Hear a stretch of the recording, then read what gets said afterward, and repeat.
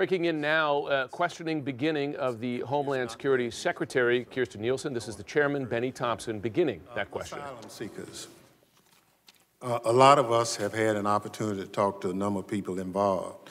Can you tell the committee why asylum seekers uh, are being turned around uh, contrary, in contra contrary to law? Uh, sir, all uh, asylum seekers have the opportunity to present their case. Uh, we're not turning anybody around. Uh, what we are doing is exercising statutory authority that enables us to, uh, in conjunction with Mexico, to return to Mexico uh, migrants who have arrived from that country to await their processing.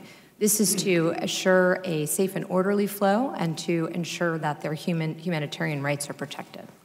So, your testimony is that, to your knowledge, no one presents themselves for asylum uh, and is not prevented, presented their rights as to what they have to do. Our, our policy and processes when we encounter, uh, as you know, an alien is we do provide them with uh, information on their legal rights, uh, their ability to access counsel. Uh, I'm not sure if you're referring to credible fear. If you do not pass that initial credible fear screening, uh, obviously then you do not, you can appeal that. Uh, but generally speaking, you do not go on to meet before an immigration judge for your asylum claim. So, is that something you do in writing or you do it orally?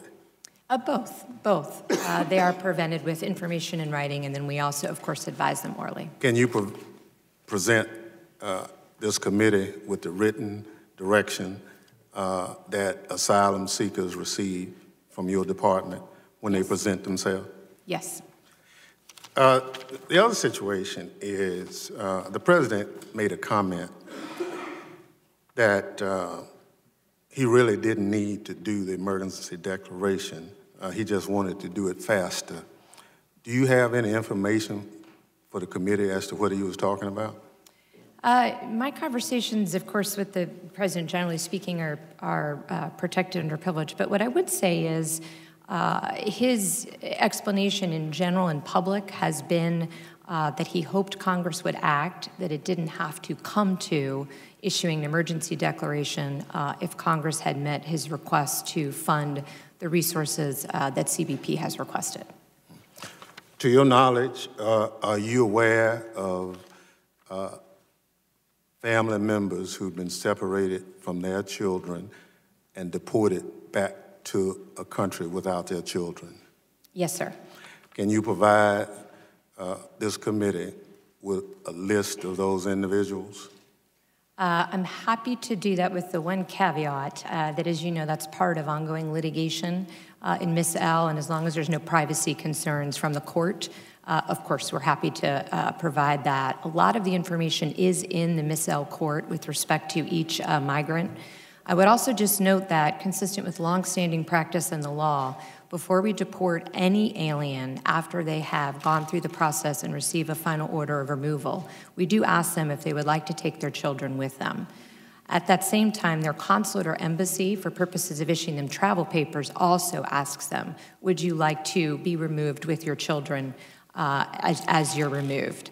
As part of Miss L, the judge also asked us to go back and ask the parents again in conjunction with the ACLU, which we did. So there was no parent uh, who has been deported, to my knowledge, without multiple opportunities to take their children with them.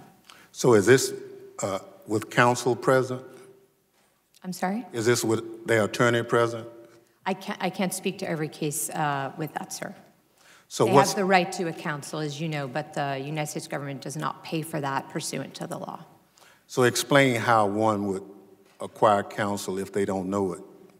Uh, we give them lists of uh, available resources, legal resources in the area. Uh, we work closely with the NGOs uh, to ensure that they understand the options for that. Uh, and then certainly when they work with the consulates and embassies as part of that removal process to receive the travel uh, authorization, the embassies and consulates also provide them with information and, and, ability to access counsel.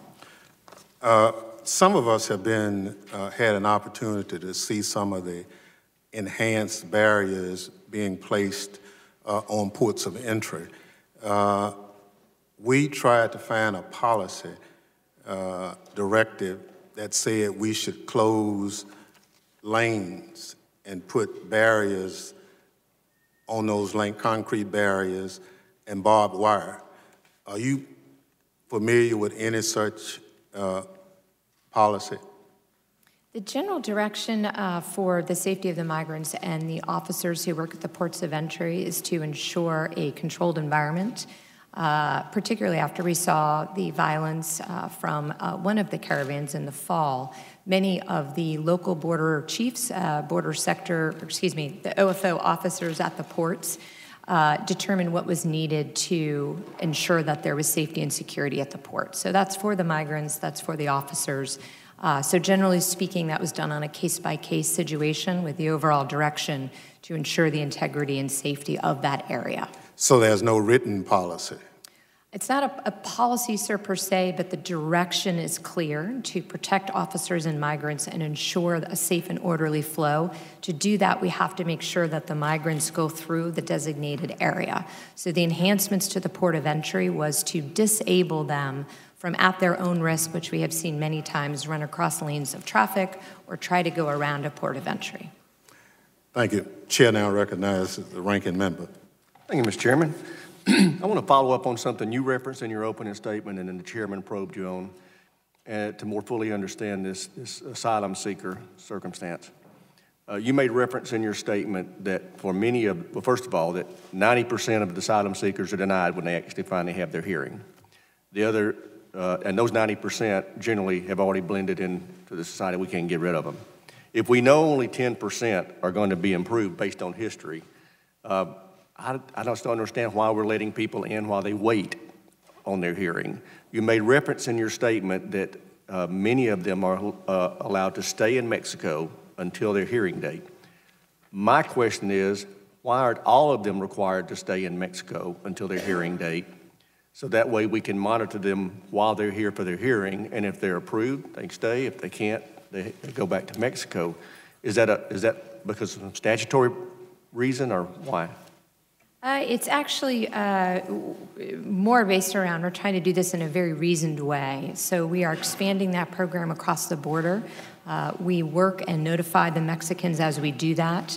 Uh, you have seen uh, statements made by their secretary uh, their equivalent to Secretary Pompeo and my equivalent, uh, that they are determined to protect the humanitarian rights. So we do it in conjunction uh, with them as we expand the program. We're doing it in a very systematic way. But the goal is to expand that across the border. So you are, you are trying to get to the point to where yes. only people can get in for their hearing at the time of their hearing? Yes. Excellent. What, do you, what can we help you with to make that happen more rapidly?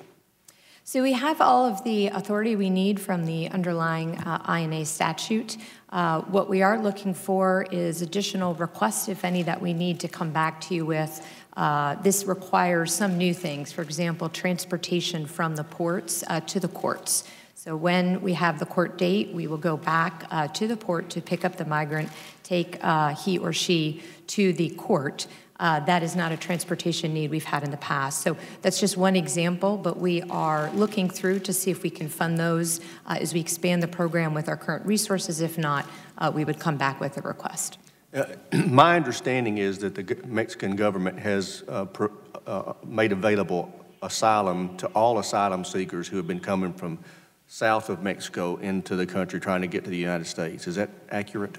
My understanding is they have offered uh, both sol- uh, asylum to the vast majority, if not all, of the migrants, but they have also offered work permits. So if somebody is fleeing Venezuela or Honduras because of their, sa- their concerns over safety and they get into Mexico, by the time they get to Mexico's northern, northern border to come into our country, there is no danger to them and their safety. My plea uh, to anybody that chooses to take this journey is to please seek protection as soon in the journey as possible. It's an extraordinarily dangerous journey. So, my advice to migrants throughout the region is please accept protection as soon as possible. Okay. I'd like to give you some time. You made reference to the Northern Triangle that you, in your opening statement, that you'd like to talk more about it. Would you tell us what you had in mind? Uh, Sure. So, uh, beginning about nine months ago, I had traveled to the region many times between the border and the Northern Triangle in Mexico. I've, I've been there about 25 times uh, and have had multiple discussions uh, with my partners in the Northern Triangle. What we're working on together are ways to dismantle uh, transnational criminal organizations, to identify the criminals who are preying on the vulnerable populations, to work with international organizations such as UNHCR to increase asylum capacity in the region, uh, to make sure that we're sharing information so we understand who is in the flow. Uh, that latter relates to the increases in special interest aliens that are in the flow, uh, and to make sure that we can keep families together. So, how can we design a system that begins at the start uh, to make sure that migrants are protected and they don't need to take this dangerous journey?